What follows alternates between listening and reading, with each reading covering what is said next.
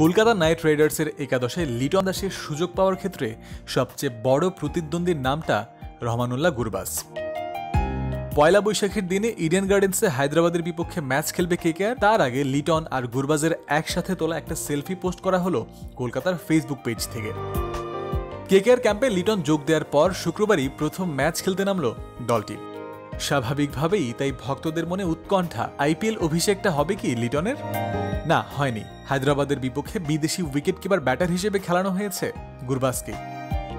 তবে ইডেনের নিজের খেলা সব শেষ ম্যাচে হাফ সেঞ্চুরি করলেও এদিন রানের খাতাই খুলতে পারেননি গুরবাস। তিন বল খেলে আউট হয়েছেন শূন্য রানেই। কলকাতাও হেরে গেছে ম্যাচটা।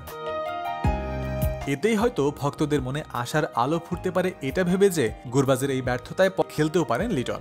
অবশ্য পরের ম্যাচে যদি গুরবাজকে খেলানো নাও হয়, তবুও লিটনের খেলা নিয়ে শঙ্কা থেকেই যায়। কারণ তাদের সাইড বেঞ্চে রয়েছেন আরেক বিদেশি ওপেনার জেসন রয়। তাই লিটন খেলবেন কিনা কেকেআরের পরবর্তী ম্যাচের দিনই এর উত্তর পাওয়া যাবে। যে ম্যাচটা হবে মুম্বাইয়ের ওয়াংখেড়ে স্টেডিয়ামে, ষোলো এপ্রিল। এদিকে প্রথম সুযোগে লিটন ম্যাচ না পেলেও টানা দ্বিতীয় ম্যাচ খেলার ঘোরতর সম্ভাবনা মুস্তাফিজুর রহমানের সামনে। পনেরো এপ্রিল রয়্যাল চ্যালেঞ্জার্স ব্যাঙ্গালোরের হোম গ্রাউন্ডে তাদেরই বিপক্ষে খেলতে নামবে দিল্লি ক্যাপিটালস। দিল্লির হয়ে সবশেষ ম্যাচে এবারের আসরে প্রথমবারের মতো খেলেছিলেন মুস্তাফিজ। নগদ পেমেন্টে পাচ্ছেন কোটি টাকার বিএমডব্লিউ। থাকছে এক্সাইটিং সব পুরস্কার আর ঘন্টায় ঘন্টায় একশো পার্সেন্ট ক্যাশব্যাক সেই ম্যাচের নায়ক হওয়ারও সুযোগ ছিল তার সামনে। সেই সুযোগ তৈরি করেছিলেন তিনি নিজেই। আবার সুযোগটা খুঁয়েছেনও নিজ হাতেই। মুম্বাই ইন্ডিয়ান্সের যখন ছত্রিশ বলে বাহান্ন রান দরকার, তখন পনেরোতম ওভারে বল করতে এসে মাত্র দুই রান খরচ করেছিলেন মুস্তাফিজ। সতেরোতম ওভারে এসে আউট করে দেন দারুণ খেলতে থাকা রোহিত শর্মাকে।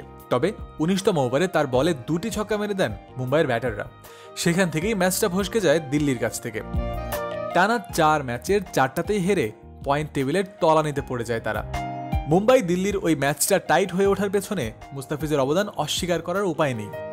তিনি খেলার আগের তিন ম্যাচে কয়েকটি কম্বিনেশনে চার বিদেশি খেলিয়েও জয়ের দেখা পায়নি দিল্লি। তাই চতুর্থ ম্যাচে এসে সুযোগ দেওয়া হয় মুস্তাফিজকে।